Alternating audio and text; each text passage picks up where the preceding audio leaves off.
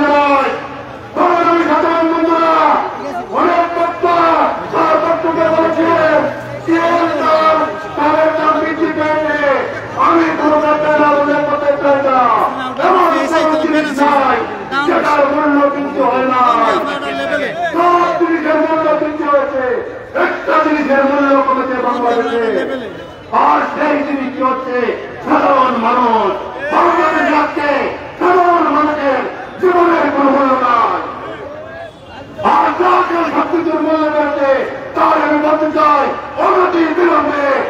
এই স্বৈরাচারী সরকারকে আন্দোলনের মাধ্যমে প্রথম ঘটিয়ে মুক্তি বেগম খালেদা জিয়ার মুক্তি এবং আগামী রাষ্ট্রনায়ক তামুন্নের হত্যার তারেক স্বদেশের জীবনার আন্দোলনের সবাইকে অংশগ্রহণ করার আহ্বান জানিয়ে আমি আমার বক্তব্য এখানে শেষ করছি। আল্লাহ বাংলাদেশ জিন্দাবাদ। শ্রমিক দলের কেন্দ্রীয় সাংগঠনিক সম্পাদক সুলমান আলীকে ভর্তি আসার জন্য অনুরোধ করতে বক্তব্য নিয়ে আছে বাংলাদেশ জাতীয়তাবাদী দল সিলেট মহানগরের সংগ্রামী যুগ্ম বিপ্লবী জনতা জনাব অ্যাডভোকেট হাবিবুর রহমানকে সংক্ষিপ্ত বক্তব্য করার জন্য অনুরোধ করছে। সূর্য আপনার ফোকাস দেন ভাই একবার মুখ দেখা যায় না ভিডিও না ছবি তারপরে কিছু কেন্দ্রীয়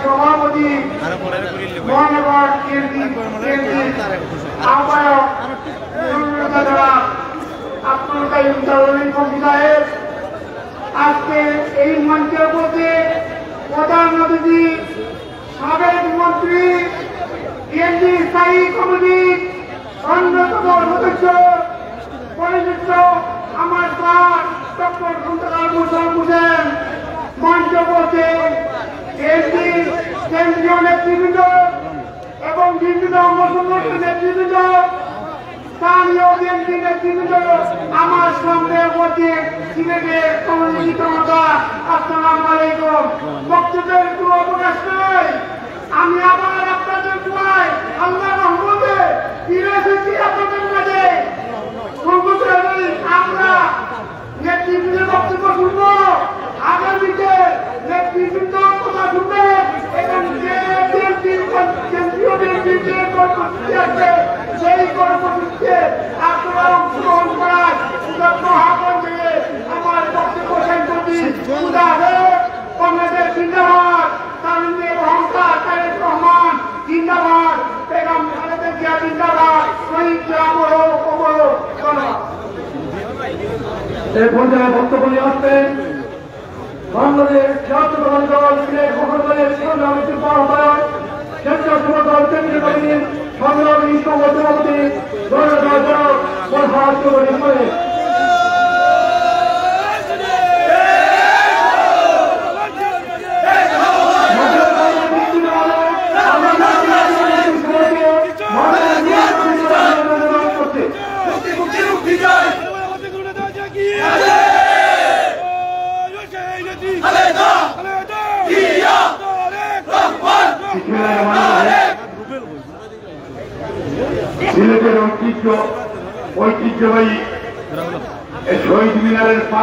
দাঁড়িয়ে আজকের কেন্দ্রীয় কর্মসূচির অংশ হিসাবে জাতীয়তাবাদী দলের সিলেট মহানগর কর্তৃক আয়োজিত আজকের বিক্ষোভ সমাবেশের সম্মানিত সভাপতি মহানগর বিএনপির সম্মানিত আব্দুল কাজ আব্দুল কাইম দালালি পন্থী। আজকের এখানে বিশেষ প্রধান অতিথি আপনাদের পরিচিত মত জাতীয়তাবাদী দলের কেন্দ্রীয় নির্বাহী কমিটি স্থায়ী কমিটির অন্যতম সিনিয়র সদস্য ডক্টর মুশারফ হোসেন স্যার আজকের এখানে বিশেষ অতিথি হিসাবে উপস্থিত।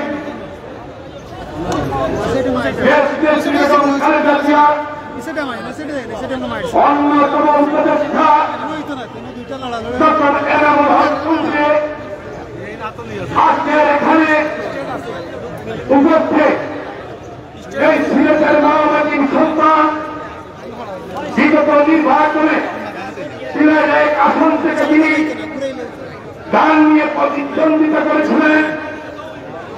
আমাদের সকলের নেতা জনাব বন্ধুবান আব্দুল মুস্তাহি এবং আজকের এখানে উপস্থিত আমাদের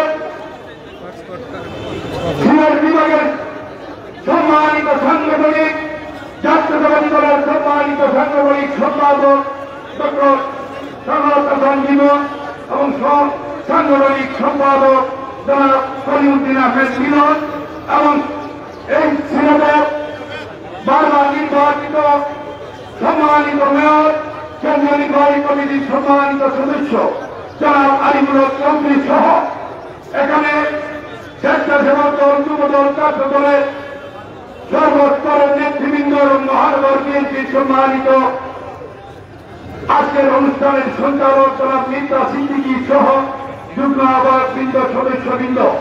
বক্তব্য খুবই সংক্ষিপ্ত আজকের এখানে প্রধান অতিথি, আপনি আমাদের এই সিলেটের হতো সাধারণ সাধারণ চিন্তা জায়গাদের পূর্ণ ভূমিতে এসেছেন।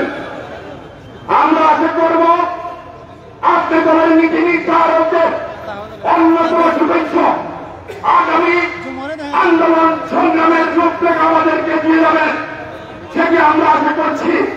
আমরা ওদের সাধারণ সাধারণ এই তিনশো ছয় জনের এই পূর্ণভূমিতে আজকের যে সমাবেশ দ্রব্যমূল্যের উচ্চগতি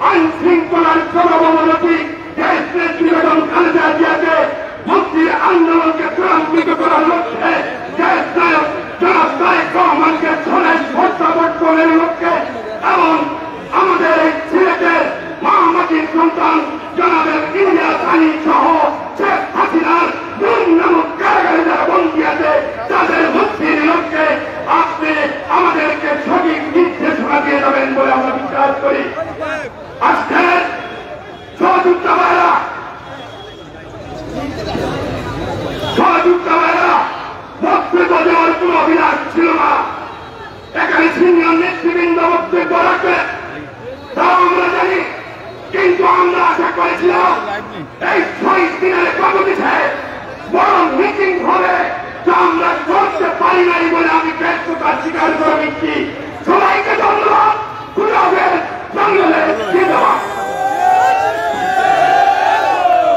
বক্তব্য রাখবেন আমাদের রাষ্ট্রপতি সংগ্রামী সভা হলো সবাই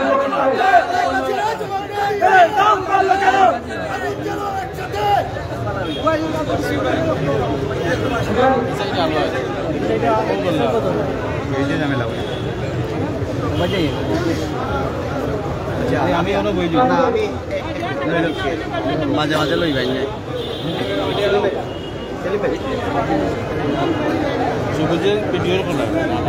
ভিডিও কথা হ্যাঁ? ভিডিও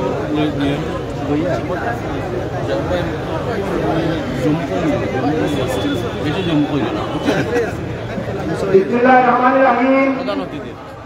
কেন্দ্রীয় হিসাবে বাংলাদেশ জাতীয়তাবাদ দল সিলেট মহানগর উদ্যোগে আয়োজিত আজকের এই সমাবেশের সংগ্রামী সভাপতি সিলেট মহানগর বিএনপির সংগ্রামী আহ্বায়ক জননেতা আব্দুল কাহিম জালানি পঙ্কি আজকের অনুষ্ঠানের প্রধান অতিথি প্রধান আকর্ষণ, গণপ্রজাতন্ত্রী বাংলাদেশ সরকারের সাবেক স্বরাষ্ট্রমন্ত্রী বিএনপি জাতীয় স্থায়ী কমিটির অন্যতম সদস্য কবির রাজনীতিবিদ ঢাকা বিশ্ববিদ্যালয় এরপরে ভূতত্ত্ব বিভাগের চেয়ারম্যান জননেতা ডক্টর খন্দকার মুশারফ হোসেন আজকের অনুষ্ঠানে বিশেষ অতিথি বিএনপি চেয়ারপারসন, দেশনেত্রী বেগম খালেদা জিয়ার উপদেষ্টা মন্ডলীর অন্যতম সদস্য বিগত নির্বাচনে সিলেটে আসন থেকে জাতীয় সংসদ প্রার্থী জননেতা খন্দকার আব্দুল মুক্তাদির সহ বিএনপি কেন্দ্রীয় নেতৃবৃন্দ সিলেট মহানগর বিএনপি নেতৃবৃন্দ ছাত্রদল যুবদল কৃষক সহযোগী সংগঠনের নেতৃবৃন্দ, সকলকে রক্তিম শুভেচ্ছা। আমাদের একটাই বক্তব্য আজকে এই সরকারের বিদায় দিতে হবে এই আশাবাদ ব্যক্ত করে সকলকে ধন্যবাদ জানিয়ে আমার সংক্ষিপ্ত বক্তব্য শেষ করছি বাংলাদেশ জিন্দাবাদ বাংলাদেশ জাতীয়তাবাদ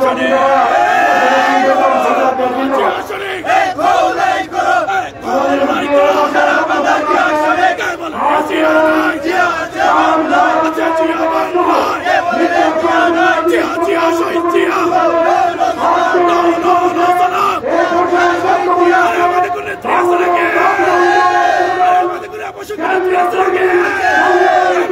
জিন্দাবাদ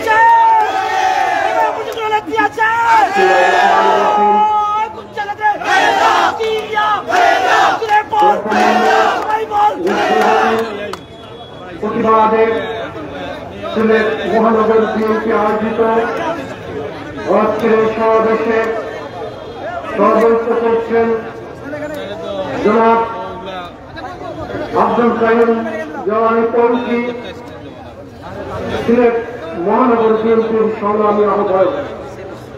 উপস্থিত রয়েছেন আজকের সমাবেশের প্রধান অতিথি, বিএনপির স্থায়ী কমিটির অন্যতম সদস্য সাবেক মন্ত্রী বিশিষ্ট শিক্ষা অনুরাগী এবং প্রবাসী মুক্তিযোদ্ধা সংগঠন আমাদের শ্রদ্ধাভাজন ডক্টর খন্দকার মুশারফ হোসেন। উপস্থিত রয়েছেন বিশেষ অতিথি হিসাবে জনাব ডক্টর মোহাম্মদ এনামুল হক চৌধুরী। উপস্থিত রয়েছেন সিলেটের নন্দিত জনতা বিএনপির চেয়ারপারসনের সংগ্রামী উপদেষ্টা জনাব আব্দুল মুক্তাদির বিএনপির সিলেট বিভাগীয় সাংগঠনিক সম্পাদক ডাক্তার সাদাত হোসেন জীবন সহ সাংগঠনিক সম্পাদক মহিমুদ্দিন আহমেদ মিলন সহ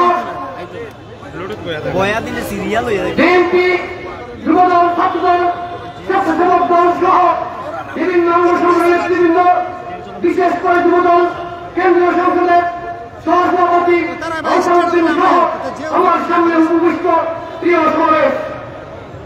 বন্ধুরা আমার এই বিভিন্ন সময়ে আমরা শুনতে শুনতে অভ্যস্ত হয়ে গিয়েছি। একজন মন্ত্রী বললেন, ঢাকা শহরকে উপর থেকে লাশ দেখা মনে হয়। একজন লোক বললেন ঢাকা শহরে বাথরুম করতে গেলে সিঙ্গাপুর মনে হয়। একজন বললেন ঢাকা শহরে হাতির দিনকে প্যারিস মনে হয়। বন্ধু আমার আমার বক্তব্য হচ্ছে, সিঙ্গাপুর, প্যারিস কিংবা লাখ টাকাতে ওই পৃথিবীর টাকার পিছনে হাজার হাজার অমুক্ত মানুষের লাইন রয়েছে কিনা?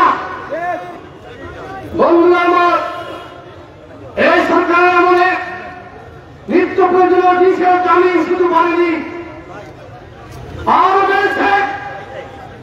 শুধু শাসক গোষ্ঠীর সাথে ভিন্ন পোষণ করার কারণে খুন খুন হত্যা, হামলা, গ্রেপ্তার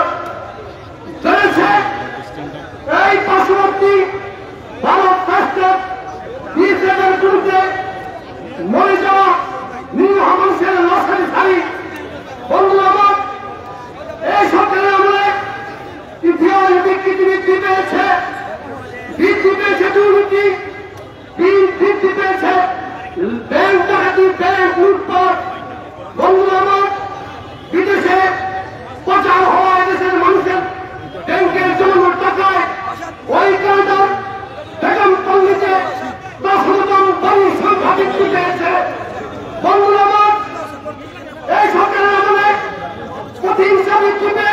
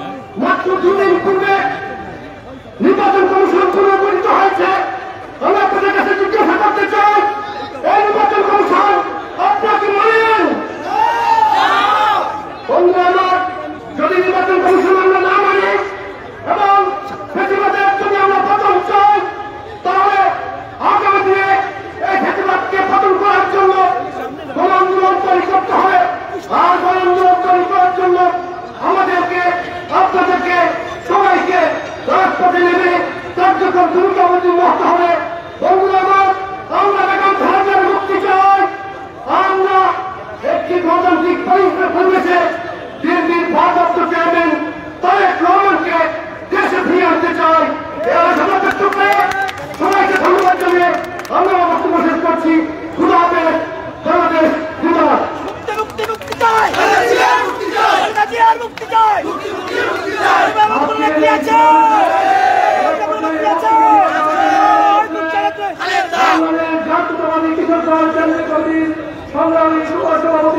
Sağ Anadolu Cezası.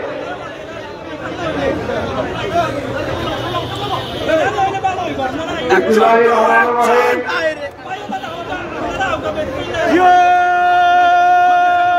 Yaşını! Şerab Bangladeş yaşını! Ek hol lay karo! Ek hol lay karo! Bismillahirrahmanirrahim. Kuşun ne piyase? Ay şehrin kuvveti!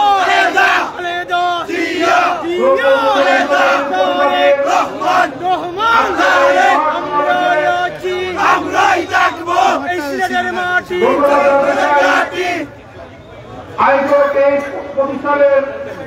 সংগ্রামী সভাপতি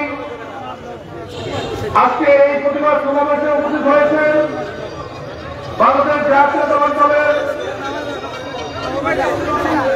জাতীয় স্থায়ী কমিটির অন্যতম কর্মী সদস্য আমাদের সর্বজন শ্রদ্ধেয়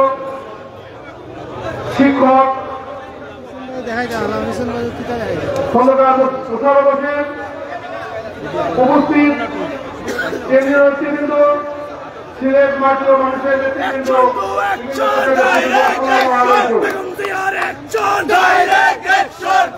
আজকে সারা বাংলাদেশে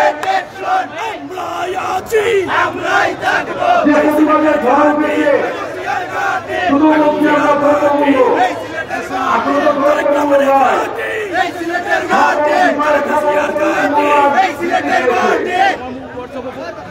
আমি জাতীয় দলের একজন কর্মী মাত্র আমরা কৃষকদের দুর্দশা দেখেছি এদেশের কৃষকরা যে শস্য ফলায় সেই শস্য আজকে আমরা শহরের মানুষরা খেয়ে বেঁচে থাকি। সেই শস্যের প্রতিটা ফলাতে গিয়ে সারের দাম, বীজের দাম, এই শস্য ফলাতে গিয়ে যে পানি দিতে হবে, পানি দেওয়ার জন্য যে পাম্প ব্যবহার করা হয় পাম্পের প্রধান উৎপাদন হল ডিজেল। সেই ডিজেল দাম আজ কয়েক গুণ বৃদ্ধি পেয়েছে। যে কারণে আজকে এমন ভাবে পণ্যের দ্রব্য দাম বৃদ্ধি পেয়েছে যে এই পণ্য উৎপাদন করার পর একটি জেলা থেকে আটটা জেলায় পরিবহন করে মানুষকে সরবরাহ করার জন্য যে গাড়ি ব্যবহার করা সেই গাড়ি খরচও বেড়ে গেছে। শুধু তাই নয়, পাশাপাশি আওয়ামী লীগ, যুবলীগ, সন্ত্রাসী বাহিনীরা রাস্তা রাস্তায় গাড়িগুলি আজকে চাঁদাবাদী সন্ত্রাসের রাজ্য কায়েম করেছে। সুতরাং সব দিক থেকে চাঁদা এবং পণ্যের কৃত্রিম সম্পদ পণ্যের মূল্য বৃদ্ধি সহ আজকে জনজীবনকে একটি দুর্নীতি সহ অবস্থায় ফেলে দিয়েছে। বন্ধুগণের প্রধান কারণ একটি, যে এই সরকার মধ্যরাতের সরকার। এই সরকার নির্বাহীদের সরকার, সাধারণ জনগণের ভোটে নির্বাচিত নয়। যেহেতু এই সরকার সাধারণ জনগণের ভোটে নির্বাচিত নয়, সেহেতু সাধারণ জনগণের ভোট নিয়ে ভাবার চিন্তার কোনো সুযোগ তাদের হাতে নাই। তারা মনে করে, আমাদের পুলিশ প্রশাসন আছে, আমাদের র্যাব প্রশাসন আছে, আমাদের অনেক প্রশাসন আছে, যারা আমাদেরকে ক্ষমতায় বসিয়ে দিয়েছে, আজীবন ক্ষমতায় বসিয়ে রাখবে। কিন্তু সেদিন শেষের দিকে আমি তাই আপনাদেরকে যত আহ্বান জানাব, এখনই সময়, এই সময় হয়ে এসেছে, আপনার দুর্বার আন্দোলন গড়ে তুলুন এবং এই ফেসিক সরকারের পতন ঘটিয়ে আমরা জাতীয়বাদ সরকারের ক্ষমতায় বসাবো। এই আশাবাদ ব্যক্ত করে সবাইকে ধন্যবাদ জানিয়ে আমার বক্তব্য এখানে শেষ করছি। আসসালামু আলাইকুম রহমতুল্লাহ এখন যে আমাদের মধ্যে বক্তব্য নিয়ে আসবেন বাংলাদেশ জাতীয় দল সিলেট মহানগরের সাবেক সাধারণ সম্পাদক সাবেক।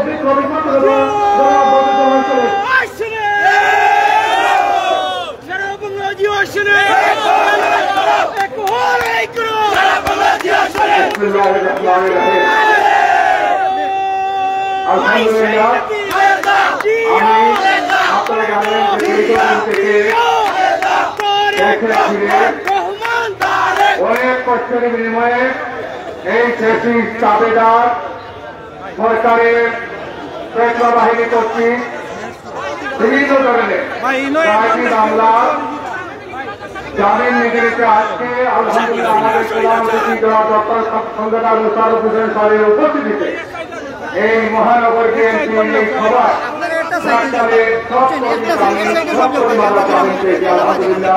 আপনাদের সাথে দেখা হবে কথা হবে তাই আমি আমার বক্তব্য নির্ধারিত হয়ে আমি শুধু বলতে চাই আমি সৌভাগ্য এই কারণে যে আজকে করা উচিত জনাব ডক্টর খন্দকার মুশারফ হোসেন যখন ছাত্র বিষয়ক সম্পাদক ছিলেন তখন আমি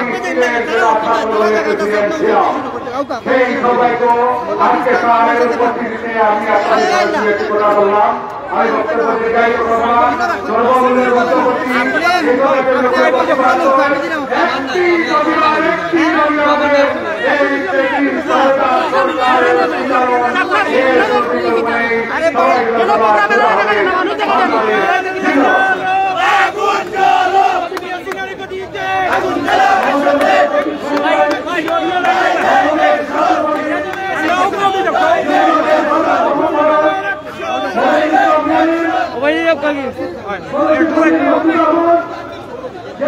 এই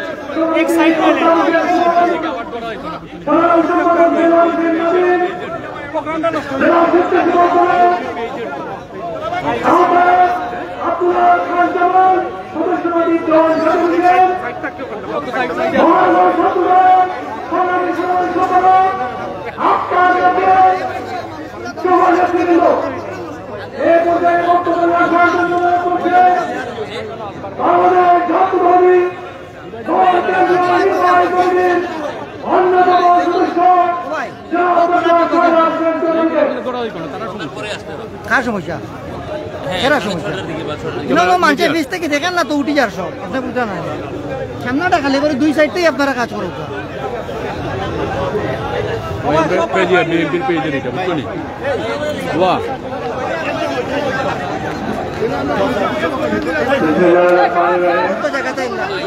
আজকে কেন্দ্রীয় নির্দেশিত আজকের এই সভা সমাজের সভাপতি উপস্থিত সভাপতি বাংলাদেশ জাতীয়তাবাদের দলের স্থায়ী কমিটির অন্যতম সদস্য প্রফেসর ডক্টর মোশারফ হোসেন উপস্থিত জাতীয় এবং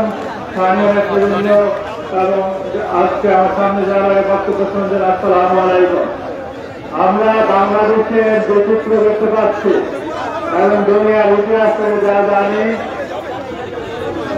বর্তমান সরকার যে জিনিস চাচ্ছে, উনি পদত্যাগ করতে যত বিলম্ব বিলম্ব করবেন, বাংলাদেশের অর্থনৈতিক অবস্থা এবং বাংলাদেশ যে অবনতি করবে তাতে এই দেশ বিপর্যস্ত হবে।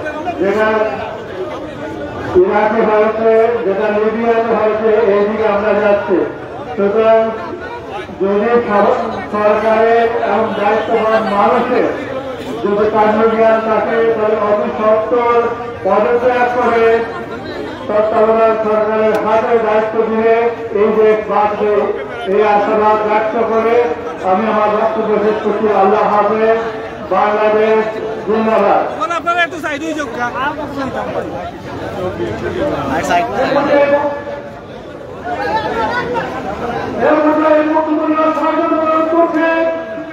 বাংলাদেশ জাতীয় আন্দোলন কেন্দ্রীয় নির্বাহী কমিটির সংগ্রামী সহ সাংগঠনিক সম্পাদক বিপ্লবী জনতা জনাব করিমুদ্দিন আহমেদ আমাদের মধ্যে উপস্থিত হয়েছে বাংলাদেশ জাতীয়তাবাদী যুবদল, সিরাজ মহানগর সংগ্রামী সদস্য সচিব শাহজাহান বক্তারে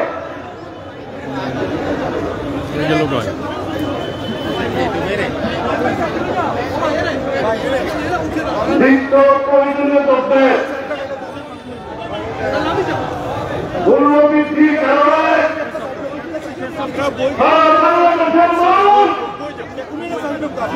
মানুষের জীবন আজকে দুর্বিষহ পড়েছে। সারা বাংলাদেশে এখন নিম্ন মধ্যম মধ্যমা অর্থহীন দিন কাটছে। নিয়োগ দুর্ভিক্ষের মধ্যে এই বক্তব্যগুলোর উদ্যোগী প্রতিবাদে জনগণের জনসাধারণকে বিষয়টা টিভি মিডিয়ার সমস্যা।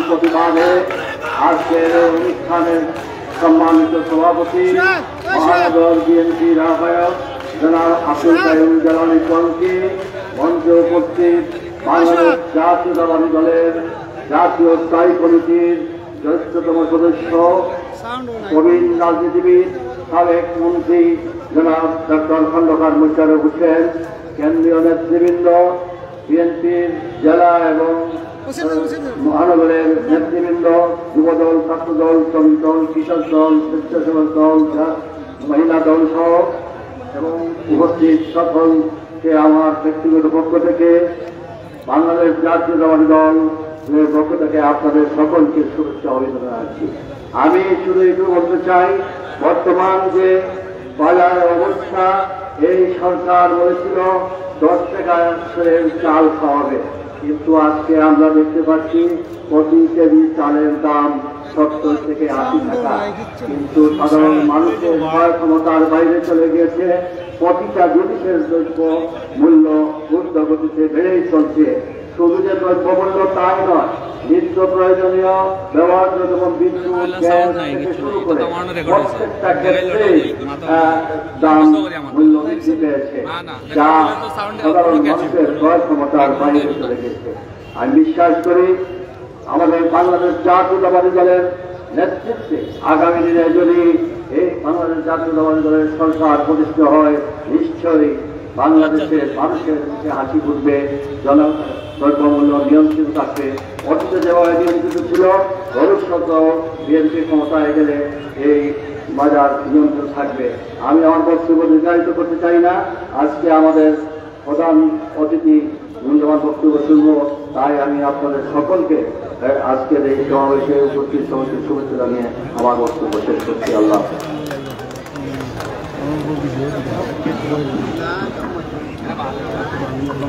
আজকের এই চাল ডেল, চাল তেল, গ্যাস সকল নিত্য প্রয়োজনীয় বিভিন্ন দ্রব্য সামগ্রীর মূল্য বৃদ্ধির প্রতিবাদে আজকের এই সমাবেশে এ পর্যায়ে বক্তব্য নিয়ে আসছেন বাংলাদেশ জাতীয়তাবাদী দল কেন্দ্রীয় নির্বাহী কমিটির সংগ্রামী সাংগঠনিক সম্পাদক, সংগ্রামী জনতা জনাব সাগর ডক্টর সাগর জীবন ডক্টর সাগর হাসান জীবন।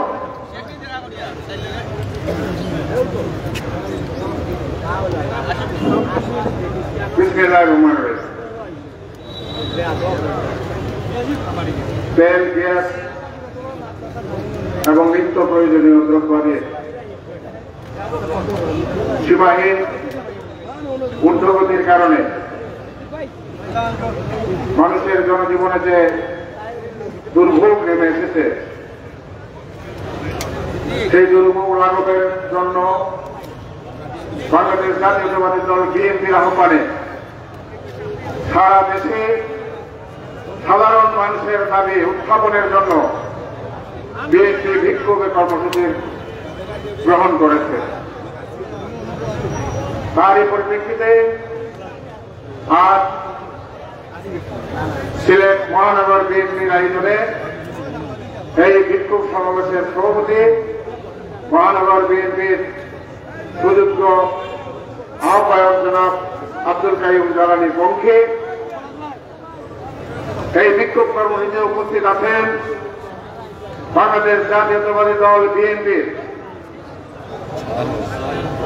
জাতীয় স্থায়ী কমিটির অন্যতম সদস্য সাবেক মন্ত্রী ডক্টর খন্দকার মুশারফ হোসেন,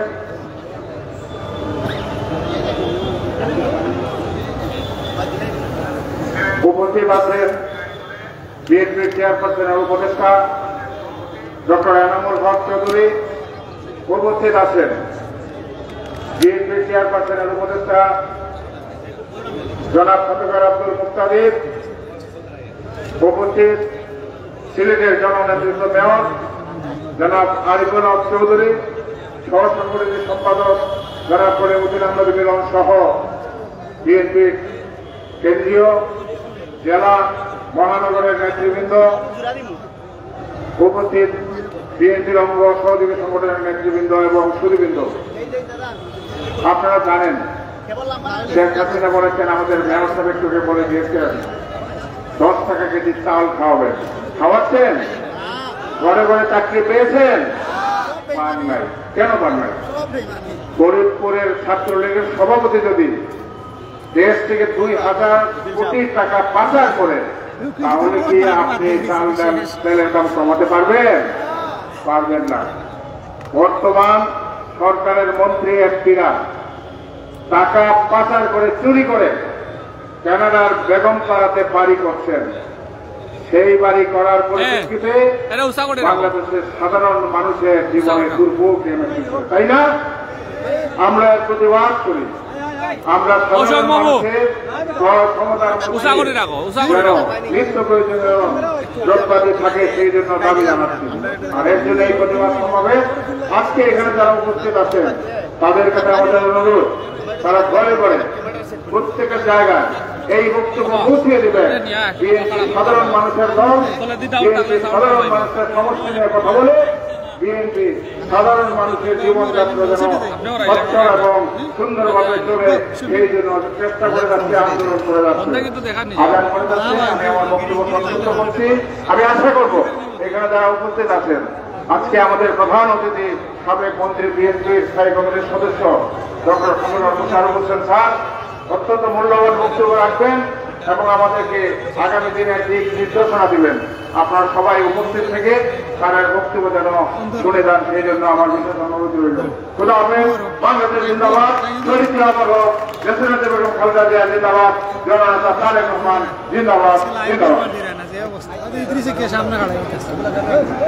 আমাদের মধ্যে উপস্থিত আছেন বাংলাদেশ জাতীয়তাবাদী দল, কেন্দ্রীয় নির্বাহী কমিটির সম্মানিত সদস্য হামিয়া চৌধুরী মন্দিরের বুকে আমি সহ মহানগর বিএনপির বিভিন্ন স্তরের নেতৃবৃন্দ। আমাদের আজকের এই সমাবেশে মূল লক্ষ্য হচ্ছে জনগণকে, জনগণের যে দাবি, আজকে দ্রব্যমূল্যের যে উচ্চগতি আজকে আপনারা দেখেছেন, গত কয়েকদিন আগের পত্রিকায় আমরা দেখেছি গত তেরো বছরে এগারো লক্ষ কোটি এই বাংলাদেশ থেকে পাচার হয়ে গেছে। একদিকে বাংলাদেশে লক্ষ লক্ষ কোটি টাকা পাচার হচ্ছে, আর আরেকদিকে এই জনগণ সৃষ্টিকারী এই সরকার, এই গুণ খুলে সরকার, এই লক্ষ্য সরকার, জনগণের উপর, জনগণের যে মূল চাহিদা, সেই চক্রমূল্যের উচ্চগতির জনগণের নমস্কার করতে হবে এমনি অবস্থায় আজকে আমাদের এই সমাবেশ আজকের এই সমাবেশে এ পর্যায়ে বক্তব্য নিয়ে আসছেন বাংলাদেশ জাতীয়তাবাদী দল। কেন্দ্রীয় বিএনপির ইভেন্টের চেয়ারপার্সনের সংগ্রামী উপদেষ্টা সিলেটের এই সিলেটের বছরের বিগত নির্বাচনে তিনি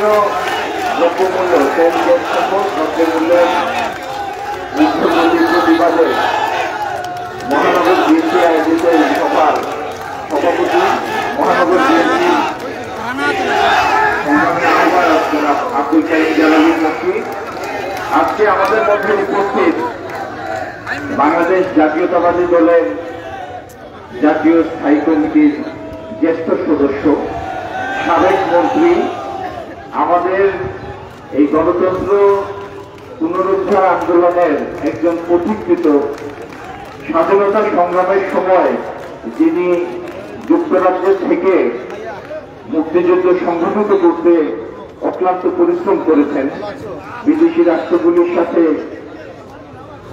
রাষ্ট্রগুলির সমর্থন আদায়ের জন্য সেই সময়ে যুবক বয়সে অক্লান্ত পরিশ্রম করেছেন আমাদের এই অত্যন্ত সম্মানিত শ্রদ্ধেয় ব্যক্তিত্ব জনাব ডক্টর খন্দকার মোশারফ হোসেন। আমাদের মধ্যে উপস্থিত বিভাগীয় সাংগঠনিক সম্পাদক জনাব শাকাউত হোসেন জীবন সমসাংগঠনিক সম্পাদক জনাব খলিমুদ্দিন মিলন আমাদের যুবদলের আমাদের মেয়র এবং কেন্দ্রীয় কমিটির সদস্য জনাব আরিফুল হক চৌধুরী যুবদলের প্রথম যুগ্ম সম্পাদক জনাব নয়ন ইসলাম নয়ন কৃষক দলের সহসভাপতি জনাব আমি জনাব মামুনুর রশিদ খান সহ আজকের এই অনুষ্ঠানের সঞ্চালক মহানগর বিএনপির সদস্য সচিব জনাব বেক্তা সিদ্দিকী, স্বেচ্ছাসেবক দলের কেন্দ্রীয় সহসভাপতি জনাব ফরাজ চৌধুরী শামীম, কৃষক দলের আহ্বায়ক জনাব মোহাম্মদ কবির সায়ন সহ উপস্থিত আমার সামনে যুবদল, ছাত্রদল এবং অঙ্গ সংগঠনের নেতৃবৃন্দ। আসসালামু আলাইকুম।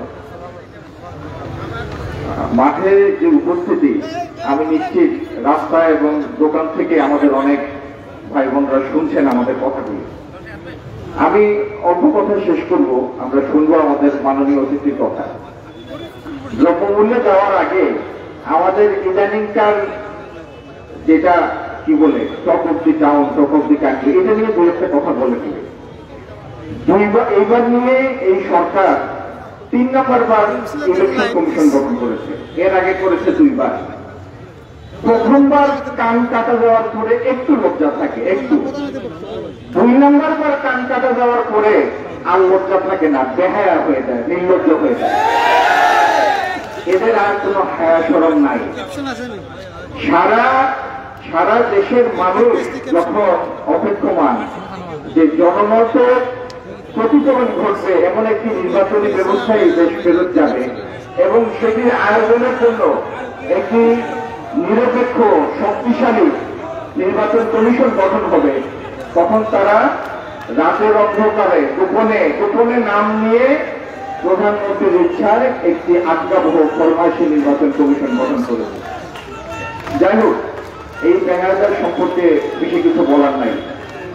দ্রব্যমূল্য এই দেশে বাড়তে থাকবে। এই দেশে এই সরকার যতদিন ক্ষমতায় থাকবে, ততদিন অনাচারী হতে থাকবে। খারাপ জিনিসই হতে থাকবে, অত্যাচার বাড়তে থাকবে, দুর্নীতি হতে থাকবে, এবং দ্রব্যমূল্য এদের পরিণামে দ্রব্যমূল্য বাড়তেই থাকবে। গত গত বারো, চোদ্দ বছরে এরা অনেকগুলি রেকর্ড স্থাপন করেছে, অনেকগুলি রেকর্ড এর মধ্যে একটি রেকর্ড হলো, এদের যত চেলা চামুন্ডারা আছে, সাঙ্গপাঙ্গরা আছে, কেউ আর পঞ্চাশ একশো কোটিতে সন্তুষ্ট হয় না। এদের রুচি আছে। এদের যে কোনো দুর্নীতির হিসাব নেন কেলেঙ্কারির হিসাব নেন সেটি অন্তত হাজার কোটি টাকা। এই বিসমিল্লা গ্রুপ আজকের আমাদের যিনি প্রধান অতিথি তারই এলাকার এক আওয়ামী লীগ নেতার নেতৃত্বে সংঘটিত বিসমিল্লা গ্রুপের দুর্নীতি এই ইউনিটে বারো চোদ্দশো কোটি টাকা। মহলবার চার হাজার কোটি টাকা। ছাত্র দলের ছাত্রলীগের নাম না জানা এক ছেলে ফরিদপুরে, তার প্রচার করা টাকার পরিমাণ নাকি দুই হাজার কোটি টাকা। টাকা তো এদের কাছে হাজার হাজার কোটি টাকা আসবেই। কারণ যে পদ্মা সেতুর প্রাথমিক বাজেট ছিল আট হাজার কোটি টাকা, সেটি চল্লিশ হাজার কোটিতেও শেষ হবে কিনা সেটি এখন দেখার বিষয়। আমাদের প্রধান অতিথি এক সময় জ্বালানি মন্ত্রী ছিলেন বিদ্যুৎ মন্ত্রী জ্বালানি মন্ত্রী ছিলেন। এই সরকার বাংলাদেশের ইতিহাসের এ যাবৎকালের সর্ববৃহৎ প্রকল্প বাস্তবায়ন করছে সেটির নাম হচ্ছে রূপপুর বিদ্যুৎ প্রকল্প। এই রূপপুর পারমাণবিক বিদ্যুৎ প্রকল্পকে আমরা জানি বালিশ প্রকল্প হিসাবে। ঠিক কিনা বালিশ দোতলা তিনতলায় তুলতে গিয়ে এরা হাজার হাজার কোটি টাকা খরচ করেছে। আসলে এই পুরো প্রকল্পটাই একটা বালিশ প্রকল্প। বালিশ হচ্ছে এটার প্রতীক। পৃথিবীর যত দেশে এই প্রযুক্তিতে পারমাণবিক বিদ্যুৎ প্রকল্প হচ্ছে, তার কোনটির খরচ এর অর্ধেকেরও সমান না। এক লাখ তেরো হাজার কোটি টাকা দিয়ে এরা বিদ্যুৎ প্রকল্প বাস্তবায়ন করছে। এই যে আমাদের সামনে রাস্তার উল্টা দিকে ব্যবসায়ী ভাইয়েরা আছেন আম্বরখানা আমরা যদি কেউ আপেল কিনতে যাই এক কেজি তাহলে দুই তিন দোকান খুলি। ঠিক কিনা যে দুশো টাকা কেজির আপেল বেশি দিয়ে ফেললাম কিনা এই পাঁচ টাকা বাঁচানোর জন্য অন্তত তিনটা দোকান খুলি দাম দর করি। এরা এক লাখ তেরো হাজার কোটি টাকার প্রকল্প বাস্তবায়ন করছে এক প্রকল্প যেটার কোন তুলনামূলক দরপত্র নেওয়া হয় নাই। শুধু এটার প্রকৃত দর তারাই জানে, আর যাদের সাথে তারা এই দুর্নীতির টাকা ভাগ বটোয়ারা করছে, তারা জানে। আফসোসের বিষয়, গরিব দেশ বাংলাদেশ, ষোলো সতেরো কোটি মানুষের দেশ। এদের এদের এই রঙিন কাল্পনিক পরিসংখ্যানের হিসাবটাও যদি আমরা সত্যি বলে ধরে নেই, তাহলেও এই দেশের গড়পড়তা মানুষের আয় লাখ সোয়া লাখ টাকা সারা বছরে। লাখ সোয়া লাখ টাকা সারা বছরে। আমরা যদি প্রথম পাঁচ পার্সেন্ট মানুষের আয় বাদ দিই, আর এই সরকারের চেরা চামুন্ডা যারা গত কয়েক বছরে হাজার হাজার কোটি টাকার মালিক হয়েছে, তাদের টাকা বাদ দেই। তাহলে গড়পড়তা মানুষের আয় সারা বছরে কয়েক হাজার কোটি, কয়েক হাজার টাকার বেশি না। সেই বাংলাদেশে পৃথিবীর গরিব দেশগুলির একটি, সেইখানে আড়াইশো কোটি টাকার উপরে টাকা আছে। এরকম মানুষ প্রতি বছর যে গতিতে পারে, যে অনুপাতে পারে, সেটা আমেরিকা থেকে বেশি, মার্কিন যুক্তরাষ্ট্র থেকে বেশি। এই করোনার সময় বাংলাদেশে কোটি টাকা আছে। এরকম অ্যাকাউন্টধারীর সংখ্যা হাজার হাজার বেড়েছে। অথচ যে সময় মানুষের পকেটে টাকা আসার কোনো রাস্তা ছিল না। ব্যবসা বাণিজ্য বন্ধ, দোকানপাট বন্ধ কমিউনিটি সেন্টার বন্ধ জুয়েলারি বন্ধ, দোকানপাট বন্ধ। টাকার সার্কুলেশন নাই, কিন্তু এদের সাঙ্গপাঙ্গরা কোটি কোটি টাকার মালিক হয়েছে এটার এটার প্রতিফলন বাংলাদেশ ব্যাংকের রিপোর্টে আছে। সুতরাং এদের সময় যদি জিনিসপত্রের দাম না বাড়ে তার কখন বাড়বে ততদিন পর্যন্ত এটা বাড়তে থাকবে। যতদিন পর্যন্ত এই দখলদার শেখ হাসিনা ক্ষমতায় আছে।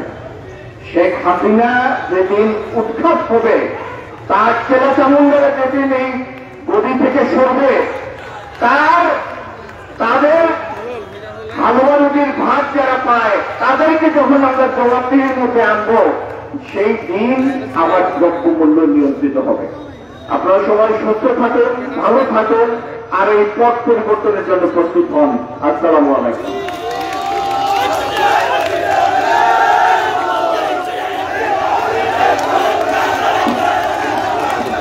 সম্মানিত উপস্থিতি।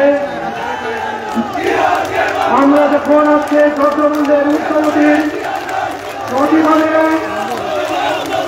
প্রতিভাবে এই সমাবেশ করছে, ঠিক তখনই আমাদের বিএনপির চেয়ারপারসন বাংলাদেশ জাতীয়তাবাদী দলের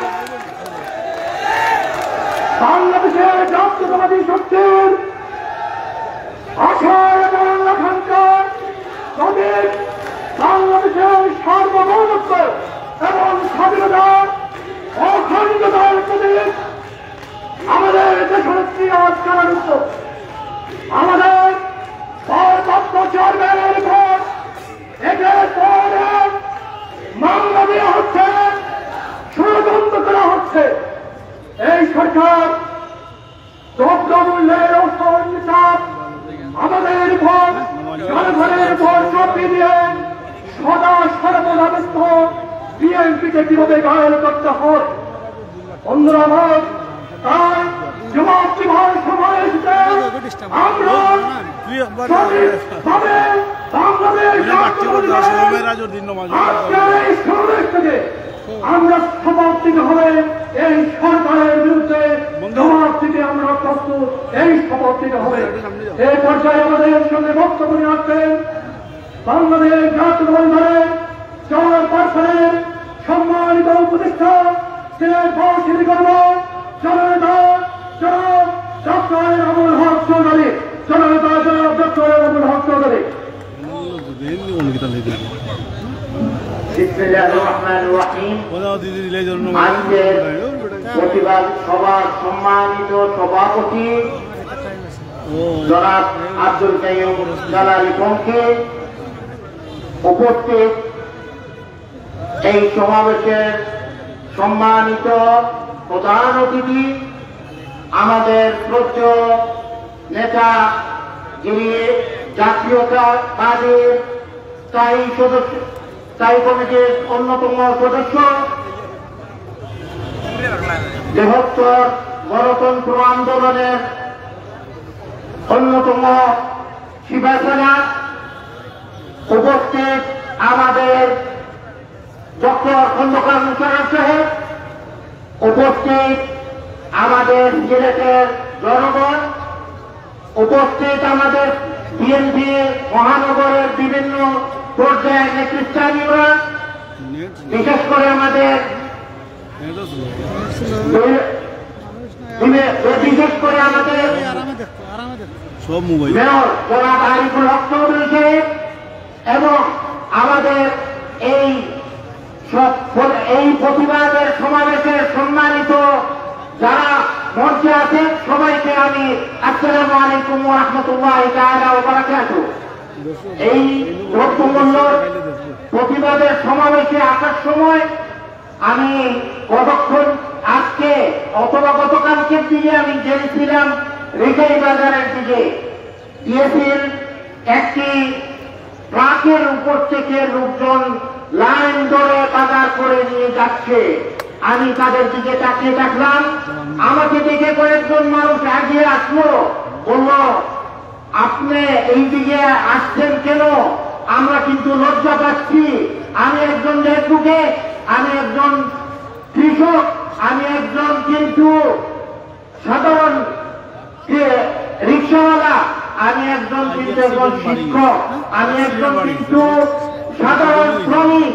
আমরা আসছি সবাই এই লাইন ধরে, শুধুমাত্র আমাদের প্রয়োজনের জিনিসগুলি আমরা নিতে যাচ্ছি। এই দিনের এইরকম লম্বা লাইনে দাঁড়িয়ে যে জায়গায় সরকার আমাদেরকে বলতেছে, আমরা এই করোনার সময় প্রণোদনা দেওয়া হচ্ছে, কোটি কোটি টাকা দেওয়া হচ্ছে শিল্পপতিদেরকে, কিন্তু আমাদের মতো যারা সাধারণ মানুষরা এইরকম প্রণোদনার কোনো বার্তাই নাই।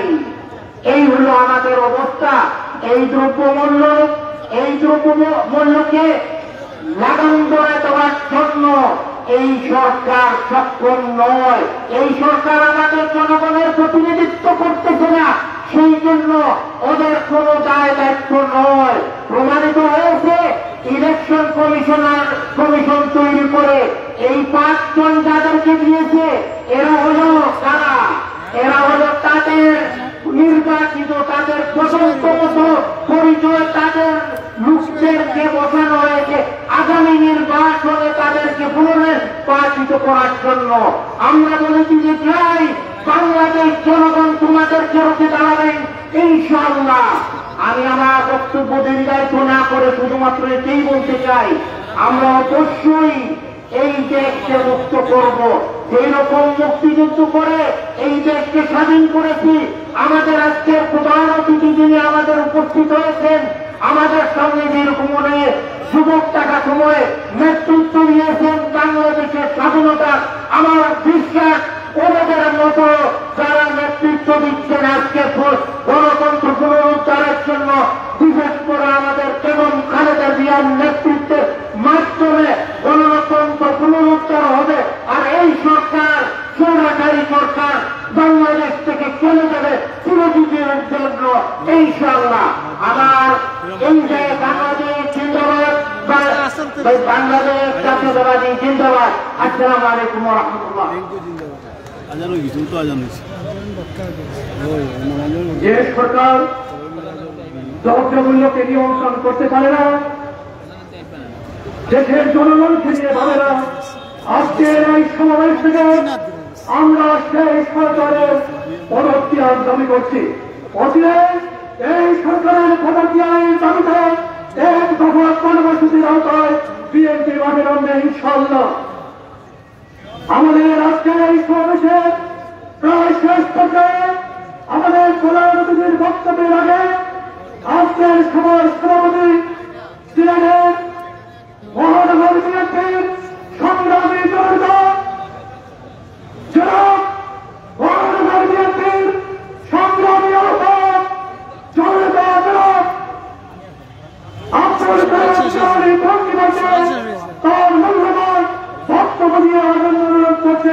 আজকের সভার সংগ্রামী সভাপতি জনতা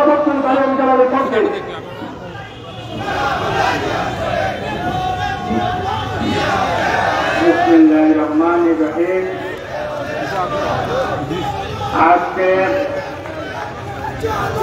এই কেন্দ্রীয় কর্মসূচি আমাদের সিলেট মহানগর বিএনপি পক্ষ থেকে আমরা আয়োজন করেছি। আজকের এই সমাবেশের প্রধান অতিথি বাংলাদেশ জাতীয়তাবাদী দলের অত্যন্ত গুরুত্বপূর্ণ স্থায়ী কমিটির অন্যতম সদস্য, সাবেক মন্ত্রী ডক্টর খন্দকার মুশারফ হোসেন, মঞ্চে উপবিষ্ট আমাদের সিলেটের নেতৃবৃন্দ, যারা এই সিলেটকে নেতৃত্ব দিয়ে থাকেন বিএনপি, তাদের সবাই এখানে উপস্থিত রয়েছেন। আপনারা অনেকবার তাদের নামও শুনেছেন। আমি আর নাম বলে নষ্ট করতে চাই না।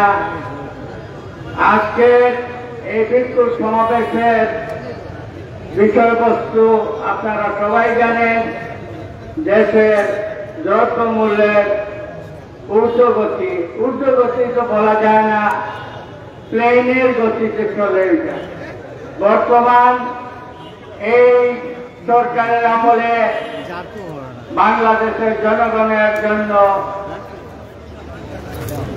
দ্রব্য সামগ্রী ক্রয় করা আকাশ কুটুম হয়ে গেছে। কারও ক্রয় ক্ষমতার মধ্যে নেই। দ্রব্য মূল্য এমন কোন মূল্য নয় যেটি দাম বাড়েনি। চাল, ডাল, মাছ, গরুর মাংসের কেজি জানেন কত? পাঁচশো টাকা ছিল, এখন এক হাজার টাকা। এক হাজার টাকা হয়ে গেছে গরুর মাংসের কেজি। প্রতিটি জিনিস, তেল, গ্যাস, কোন জিনিসের দাম বাড়ে নাই। বারবার এই জিনিসগুলো দাম বাড়িয়েছে। এই সরকার এই সরকার তো বিনা সরকার রাত্রে অন্ধকারের সরকার ভোট সরকার, যার কোনো গ্রহণযোগ্যতা নেই, এই দেশের মানুষের কাছে যার কোনো গ্রহণযোগ্যতা নেই, যারা তাকে সরকার হিসাবে মানে না, তারাই আজকে দূর করে এই দেশ শাসন করছে এবং এই দেশের মানুষ, যার কারণে আজ নিপীড়িত, নির্যাতিত, বোকা হিসাবে মানুষ পাস করে।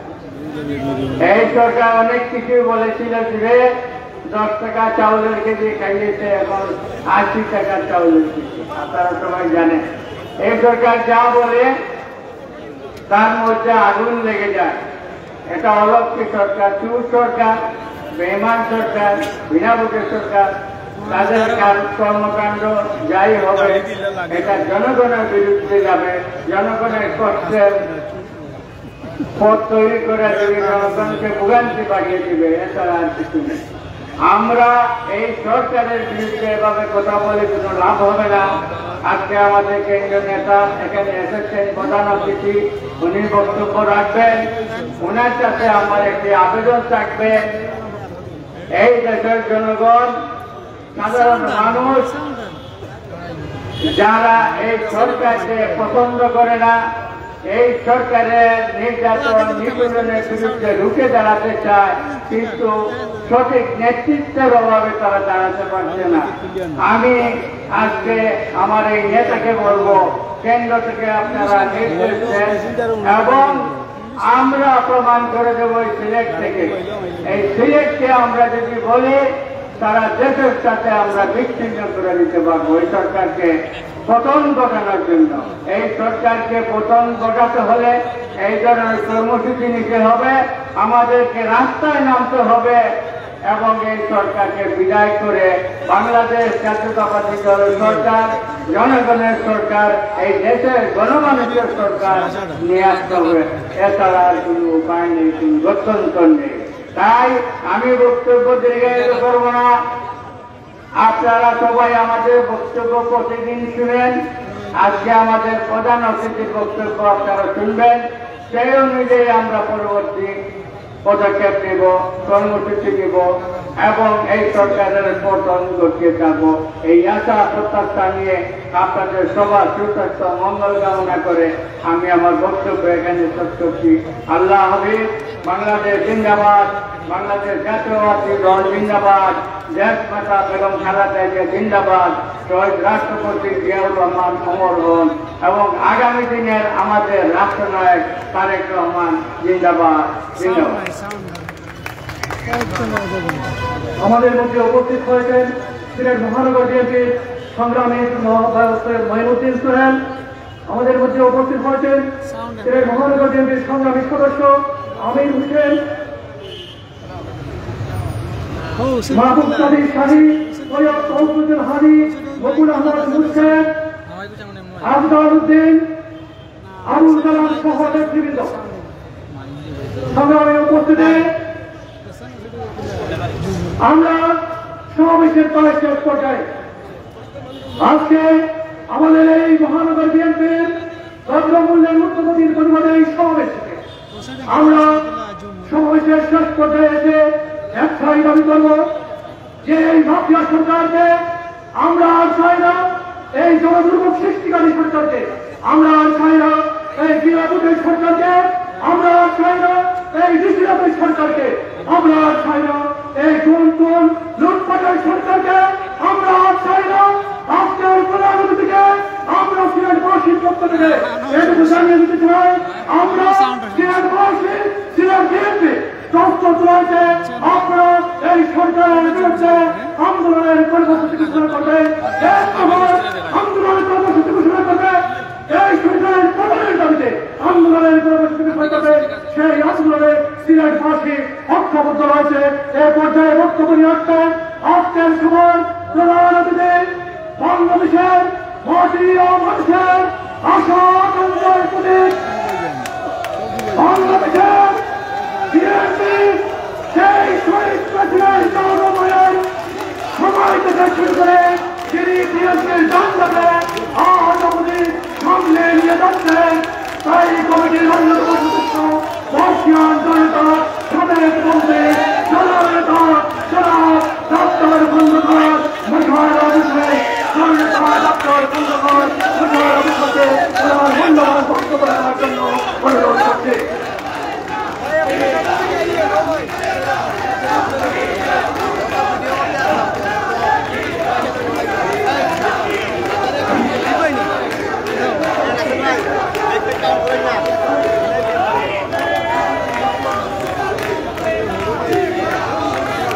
বিসমিল্লাহির রহমানির রহিম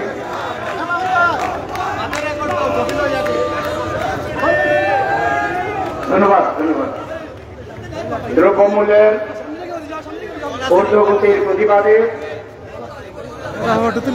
আজকে এই সিলেট মহানগরী আয়োজিত এই সমাবেশে সম্মানিত সভাপতি জনাব আব্দুল কায়ুম জ্বালানি পঙ্কি, এই মঞ্চে উপবিষ্ট বাংলাদেশ জাতীয়তাবাদী দলের জাতীয় নেতৃবৃন্দ, এই সিলেট মহানগরীর বিএনপির সংগ্রামী নেতৃবৃন্দ বিএনপির অঙ্গ সংগঠনের বিভিন্ন পর্যায়ের নেতৃবৃন্দ সাংবাদিক ভাইরা সালাম আলাইকুম। আজকে আমরা এখানে উপস্থিত হয়েছি বাংলাদেশ জাতীয়তাবাদী দলের যে জাতীয় প্রোগ্রাম কর্মসূচি। আজকে বাংলাদেশের সকল মহানগর রয়েছে সেই মহানগরগুলোতে দ্রব্যমূল্যের ঊর্ধ্বগতি একই দিনে আজকে বাংলাদেশের সকল মহানগরীতে এই বিক্ষোভ সমাবেশ হচ্ছে। সেই কর্মসূচির অংশ হিসাবে সিলেটের আজকে এই মহানগর আহ্বায়ক কমিটি আয়োজন করেছেন আজকে এই দ্রব্যমূল্যের বিষয়টি শুধু বাংলাদেশ জাতীয়তাবাদী দলের উদ্বেগের বিষয় নয় শুধু আমরা উদ্বিগ্ন নই, আজকে সারা বাংলাদেশের মানুষ আজকে উদ্বিগ্ন। এই দ্রব্যমূল্যের কারণে সারা বাংলাদেশের মানুষের আজকে নাবিশ্বাস উঠেছে আজকে আপনারা দেখছেন যে সরকার আজকে ক্ষমতায়, আজকে যিনি প্রধানমন্ত্রী। তিনি এক সময় ভোট পাওয়ার জন্য তিনি ঘোষণা করেছিলেন, তারা নাকি ক্ষমতায় আসলে দশ টাকা কেজি চাউল খাওয়াবে। আজকে আপনারা ভালো করে জানেন যে মোটা চালের দাম কত, সরু চালের দাম কত। আজকে শুধু চাল, ডাল, তেল নুন সহ যত পণ্য আছে, নিত্য প্রয়োজনীয় দ্রব্য আছে সব কিছুর দাম এত বেশি, এটা আকাশ ছোঁয়া দাম। আপনারা জানেন, এছাড়াও এই সরকার বিদ্যুতের মূল্য কতবার বৃদ্ধি করেছে? জ্বালানি তেলের দাম বৃদ্ধি করেছে, ডিজেলের দাম বৃদ্ধি করেছে সোয়াবিনের তেলের দাম বৃদ্ধি করেছে। আজকে এদেশের সাধারণ মানুষ তার যে আয় রোজগার রয়েছে সেই আয় রোজগার থেকে আজকে এই দ্রব্য মূল্যের বাজারে তাদের জীবন বাঁচানো অত্যন্ত কঠিন হয়ে গেছে। ঢাকায় টিসিবি থেকে ট্রাকে করে কিছু কম মূল্যে পণ্য বিতরণ করা হয় বিক্রি হয়। সিলেটেও করা হয়। আপনারা ট্রাকগুলোর দিকে তাকিয়ে দেখেন, সংবাদপত্রে এগুলো হেডলাইন হয়েছে। যে কত বিশাল লম্বা লাইন, এই কৃষিবিদ থেকে কম মূল্যে এই পণ্য ক্রয় করার জন্য লাইন দিচ্ছে। আর কারা লাইন দিচ্ছে? তারা হচ্ছে মধ্যবিত্ত পরিবারের লোকজন। অর্থাৎ এই সরকারের দুর্নীতি এই সরকারের লুটপাট, এই সরকারের ব্যাংক ডাকাতি, রিজার্ভ ডাকাতি, এই সকল কারণে আজকে বাংলাদেশের অর্থনীতি একটা অত্যন্ত নাজুক অবস্থায় পরিণত হয়েছে। এবং তার ফলাফল আজকে দ্রব্যমূল্যের উদ্যোগতি এদেশে ধনী ধনী হয়েছে। কেন? যারা ব্যবসা বাণিজ্য করে আওয়ামী লীগের সিন্ডিকেটের সদস্য তারা বেহিসরে কামাই করতে পারছে।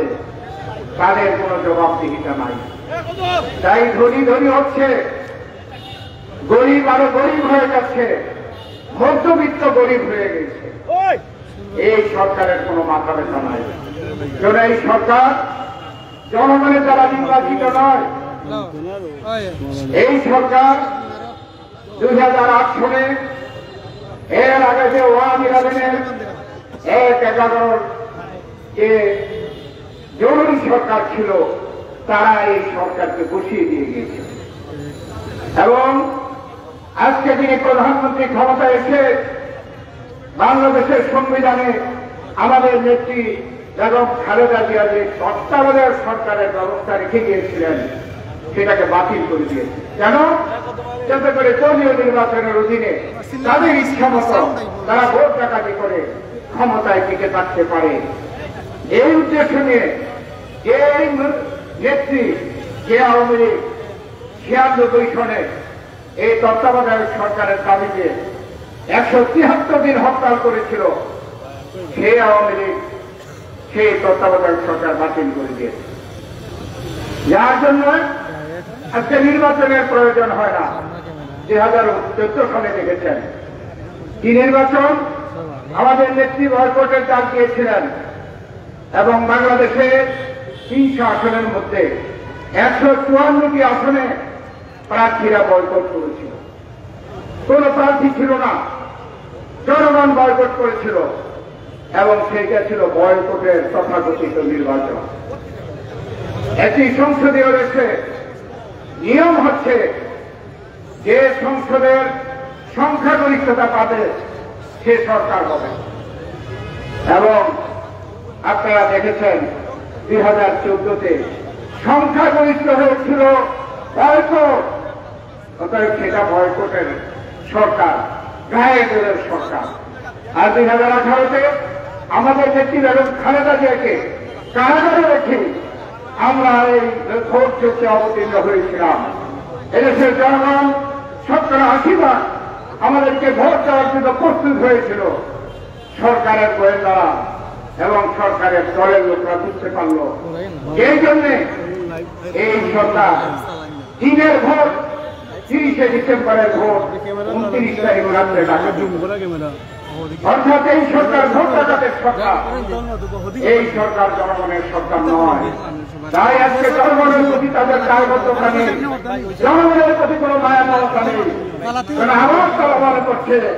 এইভাবেই জনগণকে প্রতারণা করে তারা আবার ক্ষমতায় টিকে থাকে সেই জন্য আজকে দ্রব্য মূল্যের উন্নতির দিকে তাদের কোনো তারা কোনো পরোয়া করে না। তারা শুধুমাত্র ষড়যন্ত্র করছে। আগামীতে কীভাবে। আমরা গত বারো বছর যাবৎ বলছি বাংলাদেশ যে লাখো লাখো শহীদের মুক্তিযোদ্ধাদের রক্তের বিনিময়ে যে আকাঙ্ক্ষা ছিল গণতন্ত্র বাংলাদেশে। এই আওয়ামী লীগ শুধুমাত্র ক্ষমতায় টিকে থাকার জন্য, নিজের স্বার্থ চরিতার্থ করার জন্য গণতন্ত্রের গলা চিপে হত্যা করে আজকে তারা একটি সরকারে পরিণত হয়েছে, যেটা আমরা বলি বেশিরভাগ স্বৈরাচার, একনায়কত্ব। আর আন্তর্জাতিকভাবে এই সরকারের নাম দিয়েছে হাইব্রিড সরকার। তাই না আপনারা শুনেছেন না? পত্রিকা বেরিয়েছে। আপনারা জানেন কিছুদিন আগে কয়েক মাস আগে আমেরিকায় একটি গণতান্ত্রিক কনভেনশন হয়েছিল। এবং সারা পৃথিবীর গণতান্ত্রিক দেশগুলো সেই কনভেনশনে উপস্থিত ছিলেন, আমন্ত্রণ পেয়েছিলেন।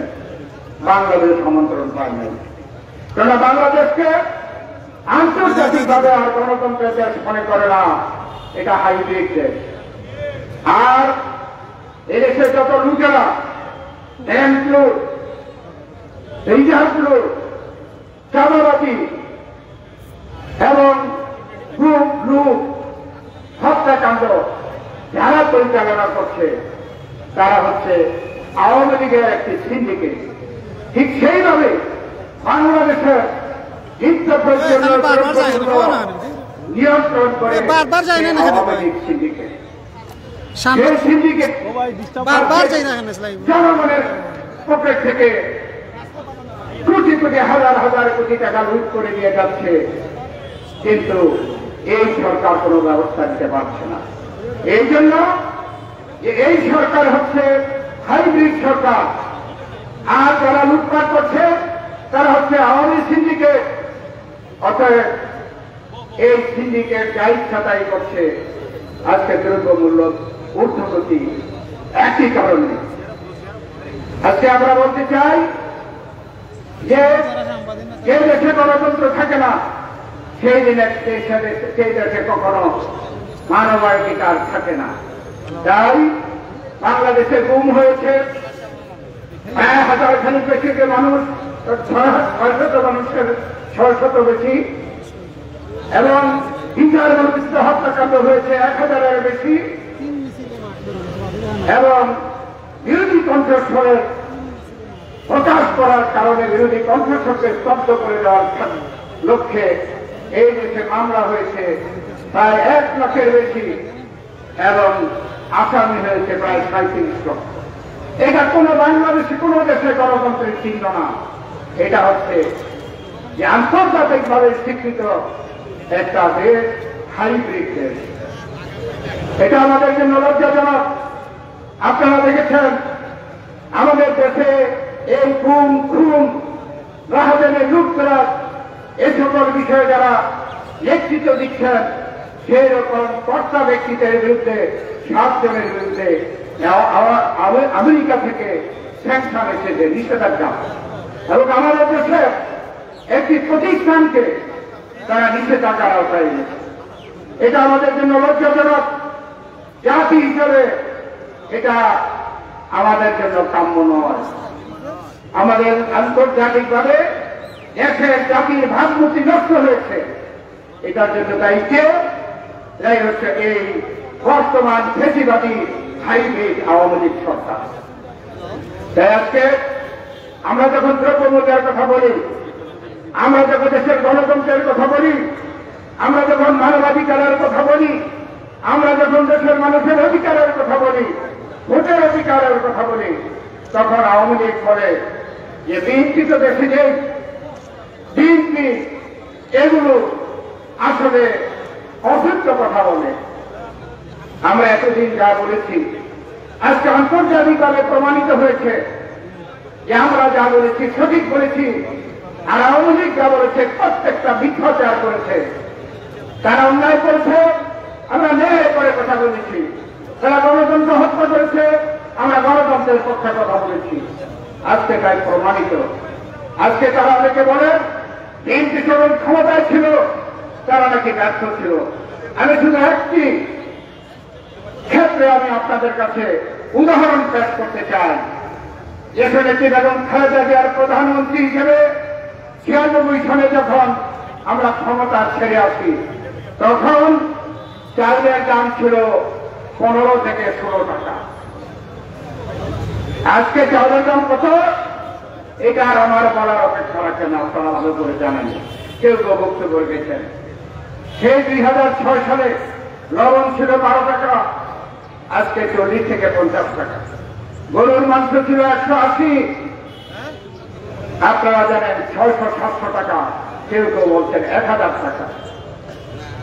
এই জুতের মূল্য ছিল গড়ে এক টাকা ষাট পয়সা। আজকে সেই বিদ্যুতের মূল্য গড়ে দশ টাকার বেশি গ্যাস দুই চূড়া আমাদের ছিয়ানব্বই দুই হাজার ছয় সালে ছিল দুইশো পঞ্চাশ টাকা। আজকে আপনারা জানেন তেরোশো, চোদ্দশো টাকা হয়ে গেছে। তেল চল্লিশ টাকা ছিল। একবার দেড়শো টাকা পর্যন্ত উঠেছে। এখন মতো একশো দিয়ে দশ বা একশো বিশ। খাসির মাংস একশো পাতাকে বলছেন। খাসির মাংস, সেই দুই হাজার ছয় সালে দুইশো পঞ্চাশ টাকা ছিল। আজকে সেই খাসির মাংস, আজকে আটশো, নয়শো। ধান বেঁধে এক হাজার টাকা।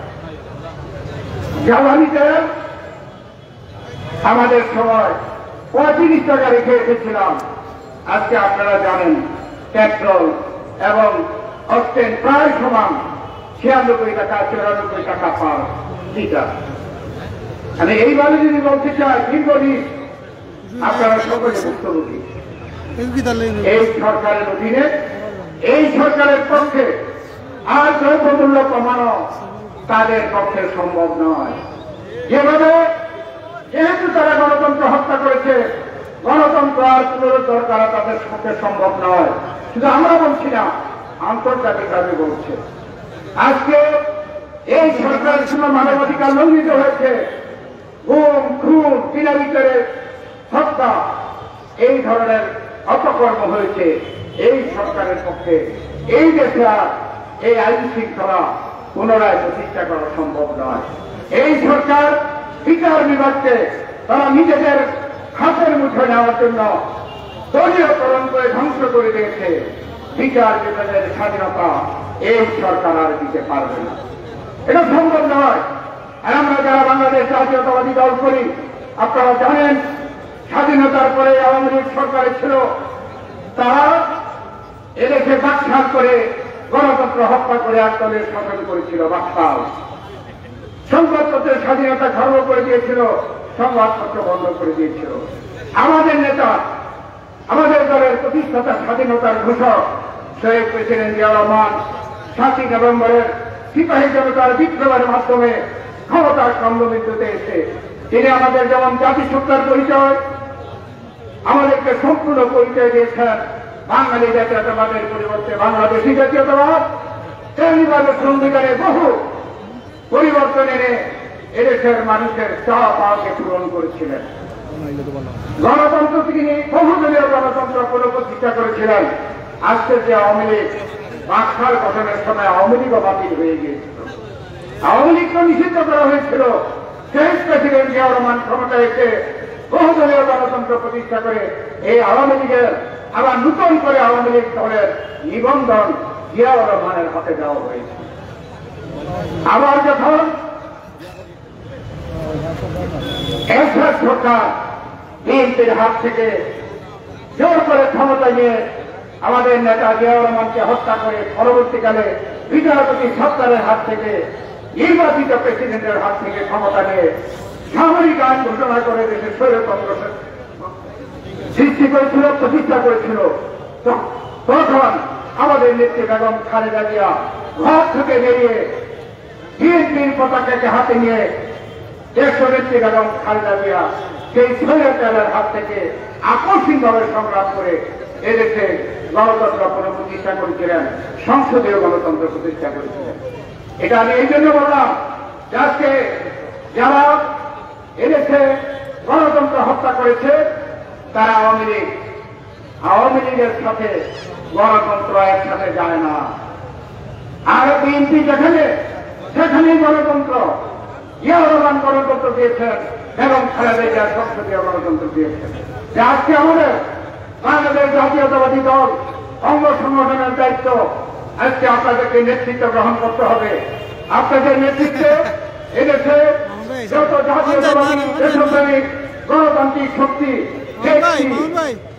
সংগঠন এবং প্রতিষ্ঠানগুলোকে ঐক্যবদ্ধ করে জনগণের মতের মধ্যে ইস্পাত কঠিন গণৈক্য সৃষ্টি করে আজকে বর্তমান সংকটের যে প্রধান অন্তরায় এই আজকে স্বৈরাচারী পেশি এই সরকারকে হটাতে হবে। এই সরকারকে না হটালে আমরা গণতন্ত্র পুনরুদ্ধার করতে পারব না। জনগণের ভোটার অধিকার পুনরুদ্ধার করতে পারব না। দ্রব্যমূল্যের নিয়ন্ত্রণ করতে পারব না। আমাদের নেত্রীর এবং খালেদা জিয়াকে মুক্ত করতে পারব না।